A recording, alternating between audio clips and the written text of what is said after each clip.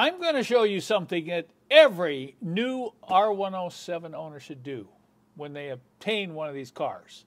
I mean, everyone. Because sometimes you will not believe what is lurking underneath this black cover. You will literally be shocked. Now I'm looking at a 83 380SL, very clean, very nice car. We're going to pull this off and do an inspection. I've already pulled the screws out. And when you lift this off, you'll immediately see the heater blower motor assembly. And the first thing you want to do is grab this thing and pull on it. Just, you don't have to jerk on it a lot, but a lot of times these will crack and break and you'll get rattling in here. So this feels pretty good. The next thing you want to do is start looking for rust. That's correct.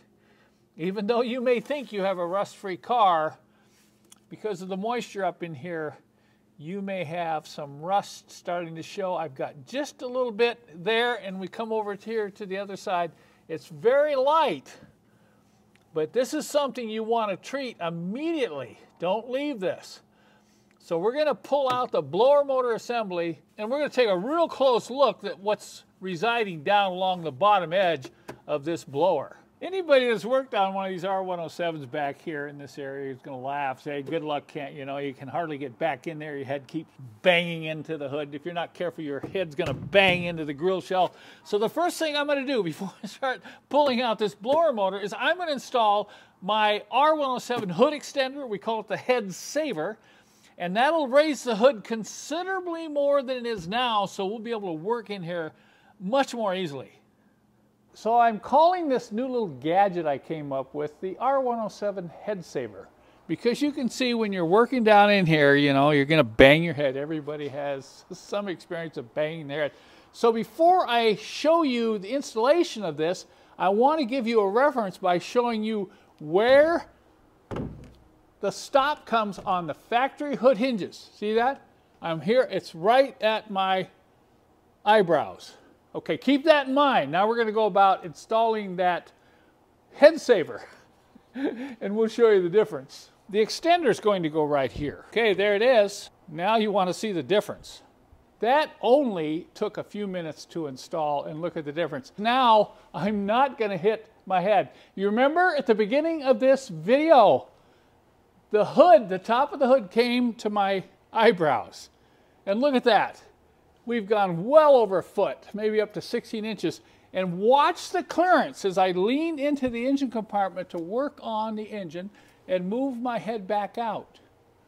I've got to really work hard now to hit my head. I think what I'm going to show you here is going to demonstrate why this is such an important procedure for anyone owning an R107, even if it's a clean car like this 380SL I have here, but look, look along that edge. We started to scrape away some of the dirt, and we've got surface rust forming there. Can you imagine if you leave that neglected over a long period of time?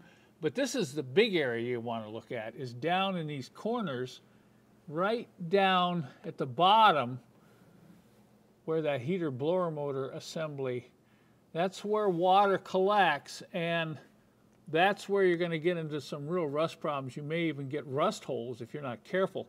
So we're going to pull this seal out and we're going to get down in here and we're going to clean all this area up thoroughly and then we're going to come back and treat these rust areas with miracle paint. It's taken about 30 minutes to come in here and scrape and vacuum and brush, get all the loose paint off and expose that surface rust.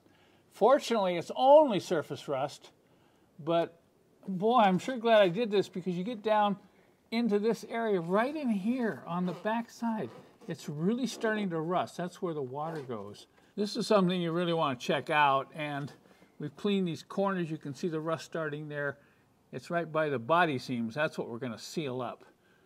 So I'm going to come in here and clean that rust surface with a little bit of acid, and then we'll coat the entire area with Miracle Paint.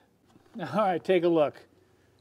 We've put on a coat of Miracle Paint, and then we had to wait a day, and then we put on a second coat of Miracle Paint, and that is sealed. We're not going to have to worry about that rusting. Now, some people want to get some red paint. You may have to use a brush to get up there and paint that if you really want it red, but I'm not going to be concerned about it because you're never going to see this once we get the cover back on.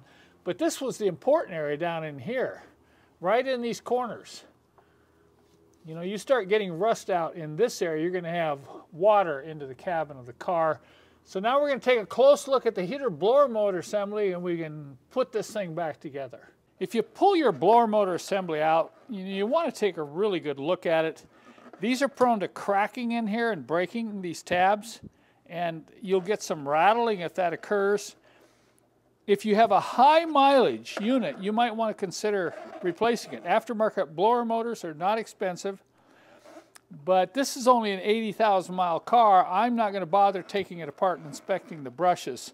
It spins freely, there's no roughness, and it worked great before I removed it. I want to show you something here because I strongly recommend that you replace this cover. I've never seen a good cover on an old R107. They're all warped and bent. I wish I would have saved the one I pulled off. It had waves, you know, bulging out between the screw holes, and I know it was probably leaking water down through that lip. You know, they probably should have put a little bit bigger lip there. When the seal goes bad and this gets warped, you're going to have moisture leaking into this area, and you don't want that. This should be a tight seal. So I recommend you get a new seal and get a new cover because look at how straight that is. And when you tighten it down, don't over tighten it. You don't want to put a bow back into it and you don't want to crush the seal. So we're going to get the seal and the cover on there and we're done. And you can kind of rest in peace now knowing that you have killed the rust. Because remember, rust never sleeps. I should mention, if you get into this area where the heater blower motor is and you see rust down in there, considerable rust, then you want to pull these vents as well. You're going to probably find rust in down and behind these vents. Now these vents are held on by these three plastic clips. I do carry these clips on my website with instructions on how to get them off and get them back on. This is a very important inspection area as well and when you're underneath here doing all this, I highly recommend that you replace this hood seal. It's not a hood pad, it's a hood seal. It's a very critical seal, which is gonna seal this edge along here from engine fumes leaving the engine compartment and leaking into the cabin area. So if you're driving your SL and you're smelling, you know, engine smells, it's very likely that this seal has all deteriorated we sell these seals on my website with the correct glue to install them without pain and suffering.